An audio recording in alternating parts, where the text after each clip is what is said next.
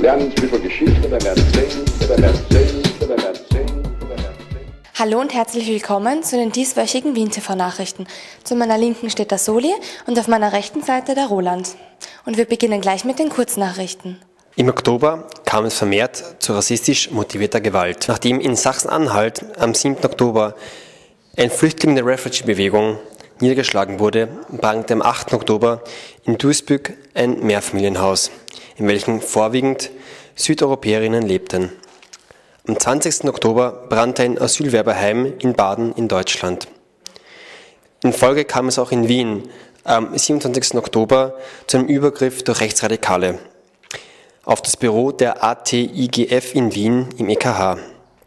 Es wird berichtet, dass die Angreifer aus der Unsterblich-Bewegung entstammen, die der rechten Hooligan-Szene um den Fußballverein Austria Wien zuzurechnen sind. Neues gibt es auch zu den aktuellen Prozessen gegen Rechtsradikale zu vermelden. Der NSU-Prozess zieht sich im Moment. Von den Nebenklägern der Opfer wird kritisiert, dass eine alte Ermittlungsakte bis jetzt noch nicht als Beweis zugelassen wurde.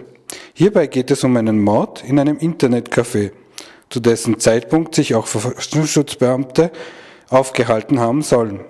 Es ist nicht auszuschließen, dass ein Zusammenhang zwischen dem Beamten und dem Mord besteht. Auch in Österreich haben wir einen Prozess gegen Rechtsradikale. Das Urteil im sogenannten Objekt 21 Prozess wird für den 4. November erwartet. Zu dem Zeitpunkt, als die Männer verhaftet wurden, war die Rede davon, dass bereits zu einem früheren Zeitpunkt eine erfolglose Hausdurchsuchung gemacht wurde.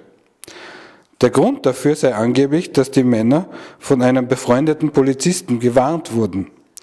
Ob die Vorwürfe nun stimmen, wurden bis heute weder dementiert noch bestätigt. Am 18. Oktober wurde der sechste Jahres Jahrestag der Eurocent-Fonds in Vicenza in Italien begangen. Diese Idee von einer externen Polizeieinheit, die eingreift, wenn es brenzlig wird, übersteigt die Vorstellung vieler in puncto von Transparenz.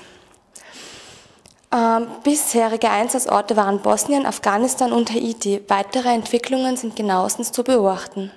Die Flüchtlinge der Wiener Refugee-Proteste müssen mit Ende Oktober aufgrund von Renovierungsarbeiten das Evitenkloster verlassen. Auf der Uni für Bildende Künste wurde daher kurzerhand eine Diskussion organisiert, um gemeinsam abzuklären, wie es mit den Protesten nun weitergeht. Wien TV wird nächste Woche über die Ereignisse berichten. Wir haben euch schon in den vorigen WinTV-Nachrichten öfters über die Vertreibung der Obdachlosen aus dem Stadtpark berichtet. Als Begründung gab die Polizei mittels ihren Polizeisprecher Golub an, dass es sich bei dem Gesetz auf der Verordnung der Kampierverordnung berufen und die Benutzung von Schlafsäcken im öffentlichen Raum untersagt sei. Vergangene Woche kam es zu zwei Aktionen, bei denen die Zivilgesellschaft sich solidarisch mit den Wohnungslosen zeigte. Es ist überhaupt verboten, dass Mensch innerhalb des Stadtgebietes einen Schlafsackentrollen aufmachen darf. Und mit dieser unpackbaren äh, gesetzlichen Regelung ist die Polizei am 5. Oktober eingeschritten, um Menschen, denen es sehr, sehr schlecht geht, die seit Jahren dort im Stadtpark äh, ihr Leben leben, so gut sie können, um sie von dort zu vertreiben und das auf eine gesetzliche Basis gestellt haben. Ihr dürft hier den Schlafsack nicht ausrollen, ihr dürft den Schlafsack hier gar nicht verwenden, also Abflucht. Jetzt kampiert am Stephansplatz. Und für was ist das gut? Wie hilft das? Äh, Solidarität, ein Zeichen zu setzen, hier mitten im Herzen von Wien, auch dem äh, Konsumzentrum von Wien, äh, ein bisschen Bewusstsein an die Menschen weitergeben zu dürfen. Wohnungslose Menschen gibt es in ganz Wien. Ja. Sie Warum, warum ist dann gerade der Stadtpark jetzt so ein Thema und warum vertreiben Sie die Leute gerade aus dem? Äh, weil es die Politik der, der Stadtverantwortlichen oder Stadtunverantwortlichen ist, äh, gewisse Plätze, die vor allem dem Tourismus auch dienen, äh, die vor allem auch dem Kommerz dienen, reinzumachen und reinzuhalten. Um zu zeigen, Wien ist eine saubere Stadt. Und was ist eigentlich mit den Notschlafquartieren? Ich meine, Die Notschlafquartiere, die es gibt, sind Gott sei Dank, Gott sei Dank sind sie da. Sie sind der Tropfen auf dem heißen Stein, sie sind viel zu wenig. Und man darf ja auch nicht vergessen, dass es genug obdachlose Menschen gibt, die aufgrund ihrer Veranlagung und ihrer Erlebnisse, die sie gehabt haben, eigentlich nicht in der Lage sind, zusammengepfercht, weil eben Platznot ist, äh, ihr Leben zu fristen, die einfach nach Jahren auf der Straße nicht die Möglichkeit haben, überhaupt vier Wände um sich zu spüren, weil die das nicht aushalten. Und äh, für mich ist wichtig, dass das Bewusstsein der Menschen ein bisschen mehr demokratisch wird, dass man sagt, ja, ich bin solidarisch mit, äh, mit, mit Armen, bin solidarisch mit Kranken, ich bin, bin solidarisch äh, mit, äh, mit anderen heute nicht gut geht. Also die Menschen sind viel zu ignorant. Genau, also man, man, ähm, man nimmt das, glaube ich, nicht ernst oder man verdrängt das und vielleicht sein eigenes Gewissen zu beruhigen oder nicht zu aktivieren, weil dann muss man was tun. Ja, ich habe schon Angst und Bedenken, dass, wenn es so weitergeht, unsere Gesellschaft eher gleichgültiger wird, dass wir dann vielleicht äh, wieder die, diese Diktaturzeiten erleben. Und dann soll man lieber äh, vorbeugen, wirken und sagen, Moment, stopp, äh, wir wollen die Gesellschaft, wenn es geht, anders haben.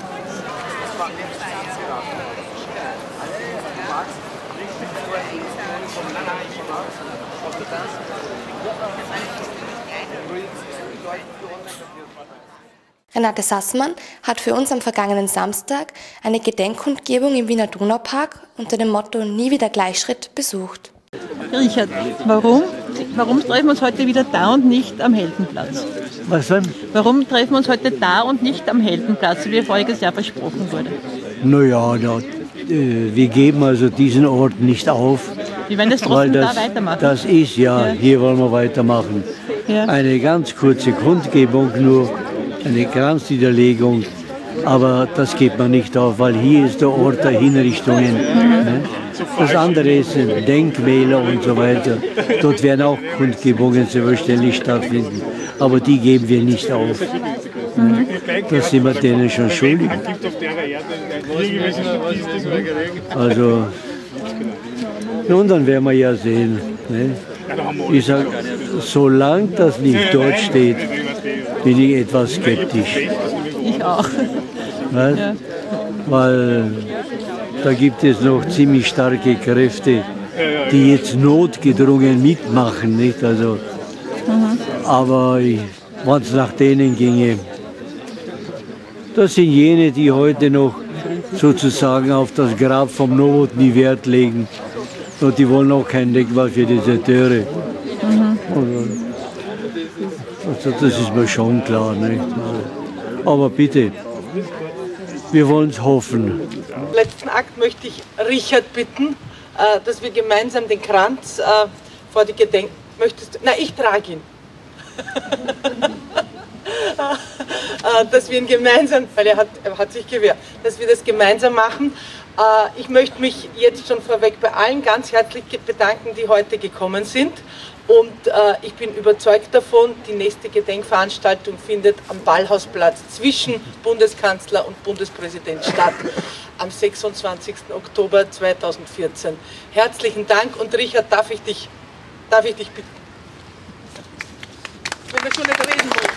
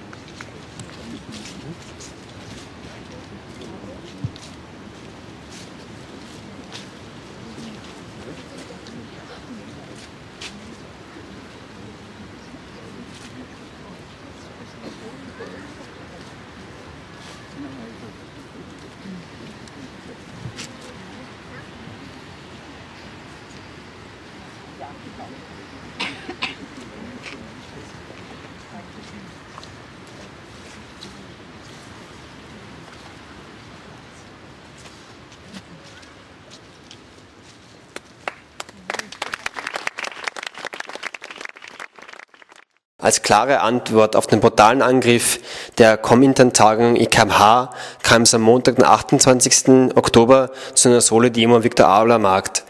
Wien TV war für euch dort vor Ort und kann berichten. Stellt euch vor, ihr sitzt zu Hause am Sonntag gemütlich bei einem Café und es werden Steine in eure Wohnungen hineingeworfen. Stellt euch vor, ihr sitzt mit, den, mit euren Kindern in einem Lokal und da kommt eine Horde von Neonazis und hat, hat es auch unter anderem auf eure Kinder abgesehen. Wir müssen zusammenhalten.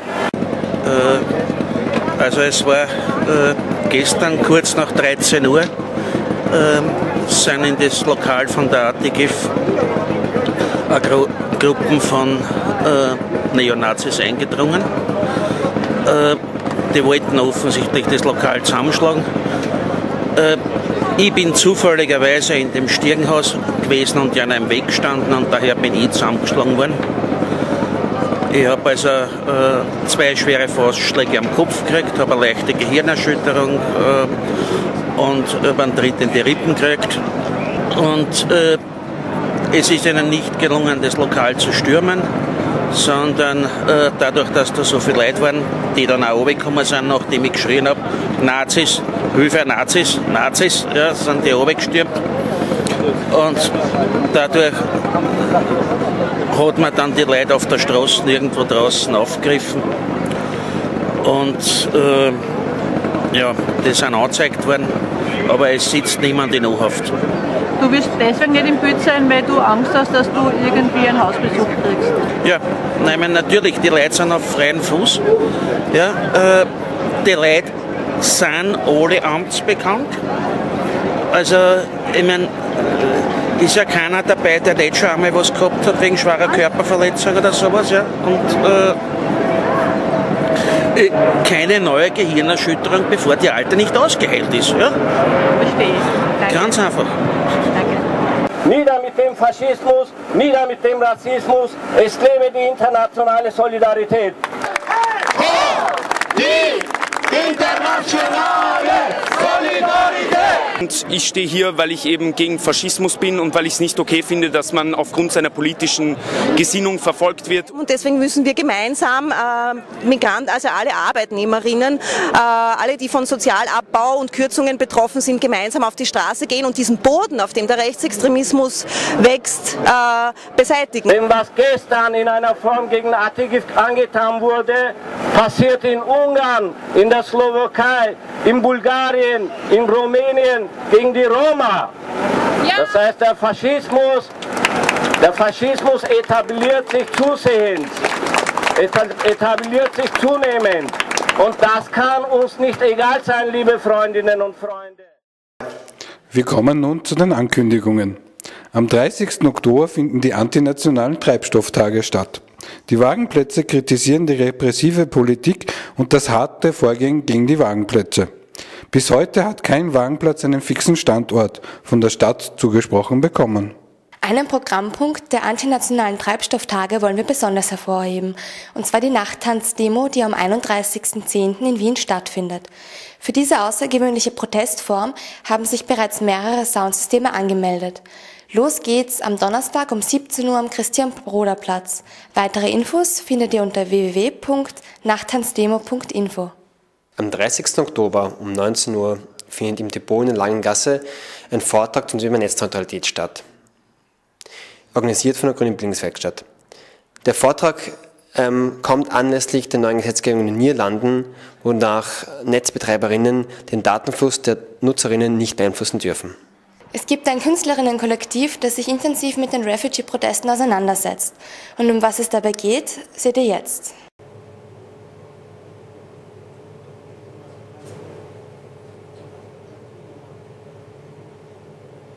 My name is Mir Jahangir Awan. I'm from Kashmir. Thank you very much, uh, madam. My name is Khan Adalat.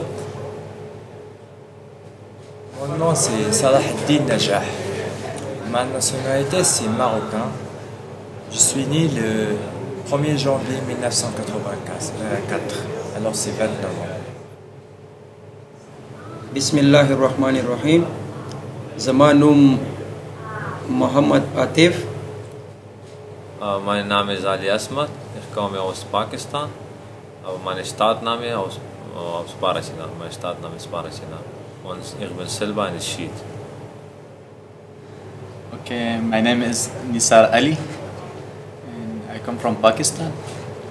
My age is uh, now is 22 starting to end of August.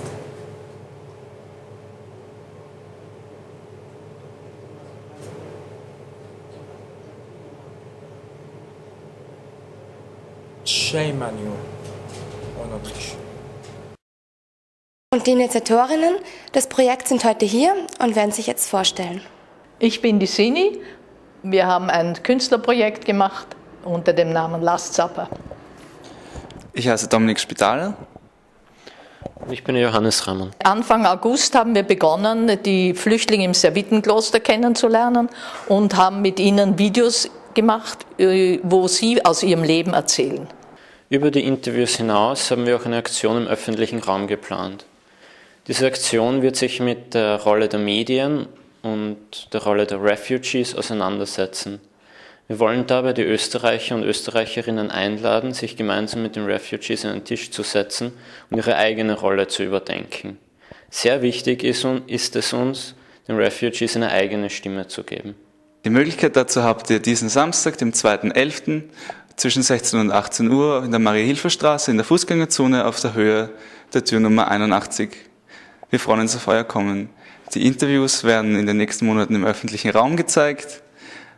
Um herauszufinden, wann und wo, liked am besten unsere Facebook-Seite facebook.com slash lastsupper.